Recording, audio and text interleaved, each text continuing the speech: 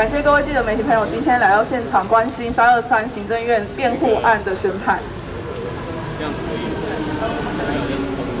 呃，还是要这样子。我觉得好像大家再靠近一点哦，就是。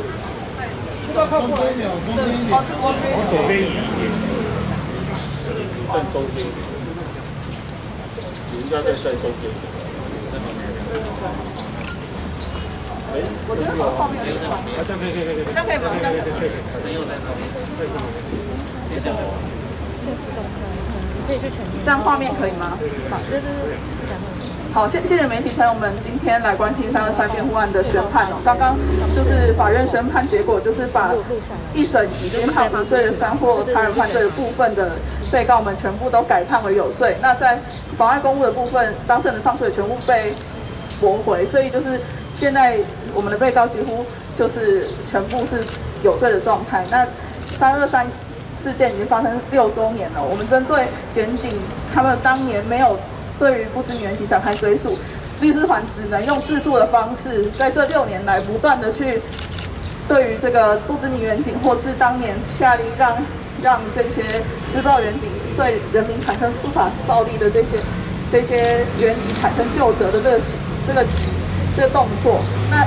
我们追诉的这个部署非常的困难，可是反观当年的被告，却在现在还要面临就是检警的这些检警调当年的追诉，一直到现在的法院面临有罪判决的结果。那针对这样宣判的结果，我们先请当事人为我们讲一下，就是他们的呃心得。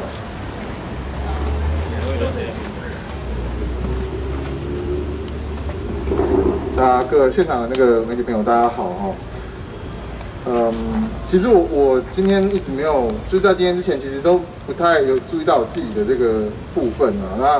那因为其实除除了我们这种原本一审无罪，后来今天改判有罪的之外，那今天二审维持有罪判决的这些伙伴，其实他们之后是是没有机会再上诉的。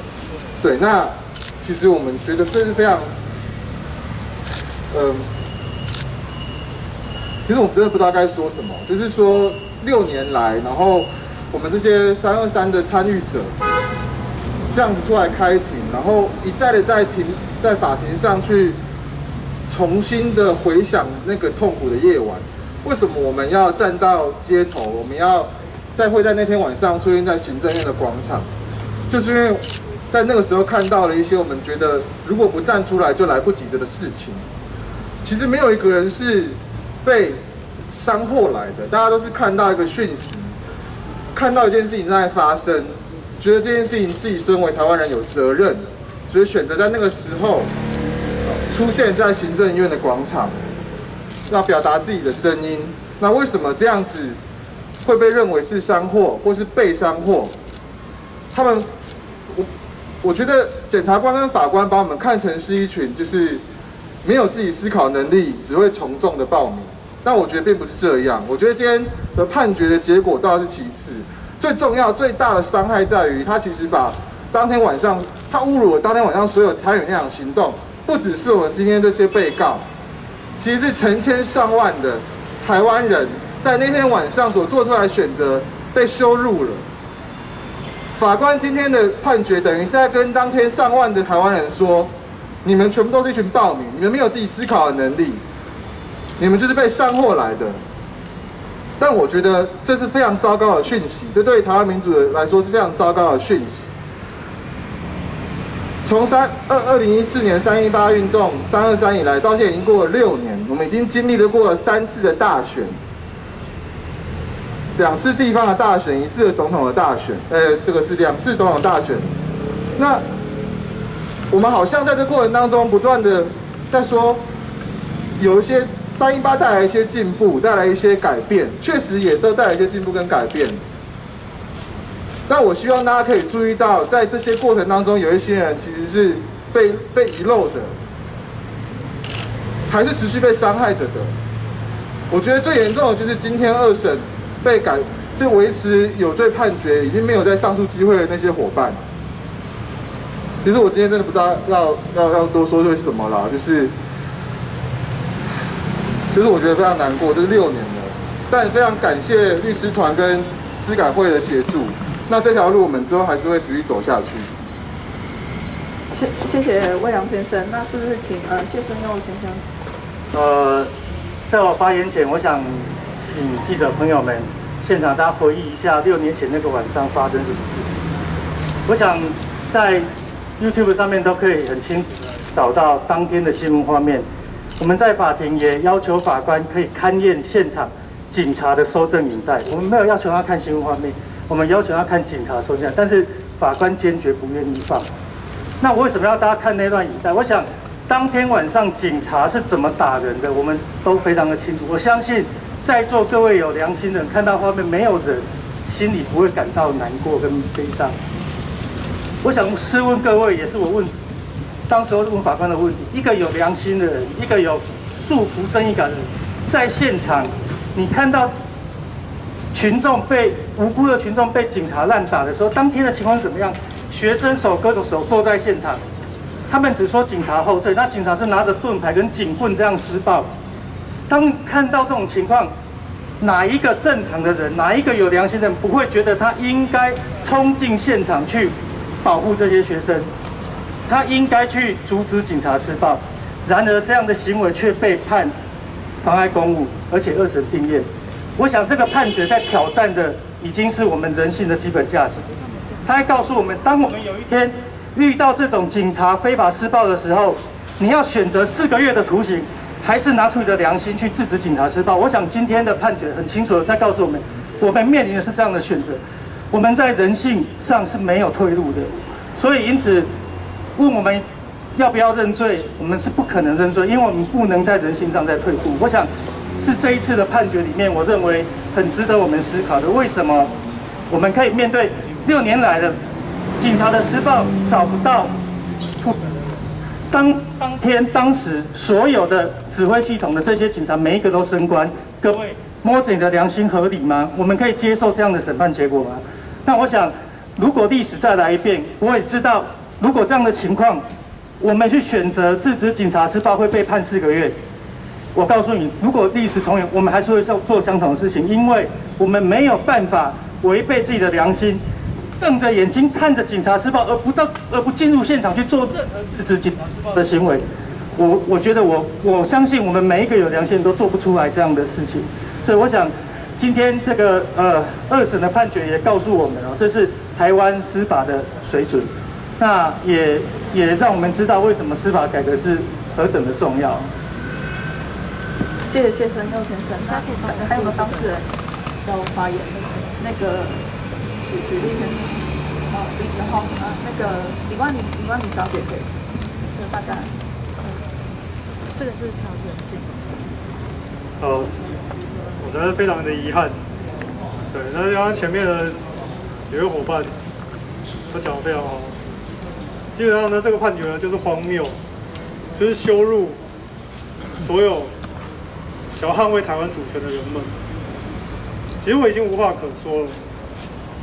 但是如果以为这个判决就可以打压我们的意志的话，那我真的必须说这是错的。因为我现在必须要讲，We will be here forever. We will still be here. Forever.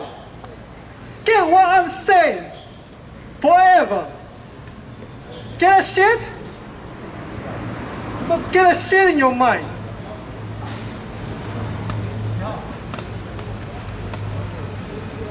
呃，首先，OK，首先很感谢司改会还有义务律师团，哦，这六年来对我们的帮忙，那这个我相信大家都感佩在心的。那关于这个判决的结果呢？说意外也不意外，因为这里中华民国的司法体系。那关于商货这部分，我在庭内一直主张，商货罪它的意思是这样：我叫某个人，我蛊惑某个人，煽惑一群人去做一件犯罪的事。那我在庭上已经不止一次跟法官说，占领行政院是犯罪吗？有人因为占领行政院被判刑吗？没有，所以我就不懂这个商货罪如何成立，因为没有人被我们商货去犯罪啊，从事犯罪行为。可是今天结果是我们六个人被判了商货罪，然后没有人因为被伤或犯罪，所以这个这说明了中华民国司法哦有有这种烂法官呐。那我是很感慨啦，蔡英文总执政的四年哦，那李非凡副秘书长也在这边，就执政了四年，讲说要司改，结果是这样，来说真的是蛮，只能说遗憾了，但是也不意外哦，对中华民国司法一直都是这个水准。那台湾的防疫很成功，可是我觉得这个司法拖累台湾，让让全台湾人丢脸，心痛有台湾的司法。谢谢林先生，那是不是李李万林小姐？嗯，首先我还是要感谢司改会以及律师团对我们的帮忙，还有也很感谢这六年来所有台湾的公民跟我们站在一起。这是嗯，在这六年的司法当中，嗯，给我们最大的温暖。另外就是呃，今针对今天的判决，我我们虽然觉得很遗憾，不过嗯，就像。陈时中部部长他说的，呃，防疫是全民的责任，但是得疫或者是被隔离者并没有罪，我们没有罪。虽然今天的判决让我们觉得很痛心，但是我还是要跟大家说，台湾的民主跟自由是我们大家都共同的责任。今天防疫大家共同的，嗯，团结起来站在一起。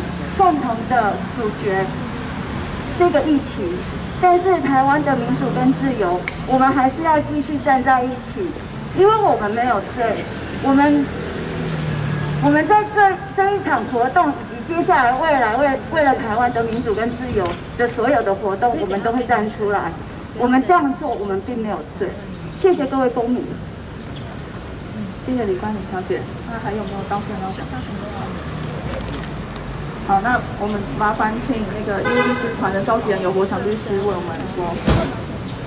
呃，各位在场的当事人，我想大家都很失望，律团也很失望，但是对于这样的判决结果完全不意外。事实上，我们在审判的过程里面，从审判长的诉讼指挥，我们就很清楚的看出审判长有偏颇之余。在那个过程里面，我们清楚的感受到审判长在还没有到审判终结之前，新政就已经形成了。那个新政很明确，就是要判被告有罪，他就是认定被告是三货的犯罪者。虽然最后我们申请法官回避的那个申请，被我们的法院体系一如既往的把它给驳回了，但是至少那个裁定很清楚的指出。这个审判长的整个诉讼指挥是大有问题的，有许多诉讼指挥是违法的。那也很遗憾的，在重新开始审判之后，审判长没有调查任何新的证据，没有任何的事实基础，就将整个案件重新改判。我想这样的一个判决，在今天做出来，是台湾司法的耻辱。啊，不客气的说，是台湾司法的耻辱。这个是台湾司法耻辱的一天，可耻的一天。我们对于这个判决结果非常的失望。审判长的思维看起来仍然停留在戒严时期，只要有人进入了集邮的禁制区去集集会，去表达政治上的主张跟抗议，那么就是犯罪。只要有人鼓动大家、建议大家这么做，那就是犯罪。法官的思维停留在这个阶段，那不好意思，我认为你既不了解民主，也不知道宪法所保障的集会自由的意义是什么，没有与时俱进，这是非常令人失望的。在场的被告被从无罪改判成有罪，这个审判过程，我认为没有受到公平审判，整个程序也不正当。而法官的思维，更让我们看出，我们的司法仍然有很多有很多改革的。空间有很多改革的必要，法官的评鉴或者是其他的呃在职进修、在职训练等等，这些都需要再进一步的改善跟加强。所以，就这个判决结果来讲，律团这边会陪着当事人继续走下去，因为他们都还可以再继续上诉。今天拿来判我们被告有罪的这个三祸罪，事实上，在我们看起来早就已经不合时宜。那个是上个世纪的威权统治国家常常使用的压制人民异议声音的手段，在这个时代，在这个民主改革的这个时代，早就应该要废止掉了。但是起诉用这个条文起诉，判决用这个判决判决，这就表示我们的整个司法体系还停留在过去那个时代，没有往前走。我们会努力的让整个司法体系跟着时代往前走，打到大法官那边去申请释宪，我们也会这么做，就让他。就让大法官来说明一下，这个条文在这个时代还可以，或者是不可以存在。律团会陪大家走到最后，谢谢。谢谢尤博祥律师。那请问其他律师？